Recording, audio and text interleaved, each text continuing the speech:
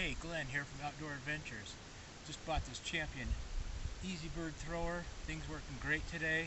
and what a blast this is to shoot over this thing. Okay, here we are. First time. Our new Champion Easybird thrower. Boy, this sucker works really good. Hardly had any broken bird so far. Watch this baby go.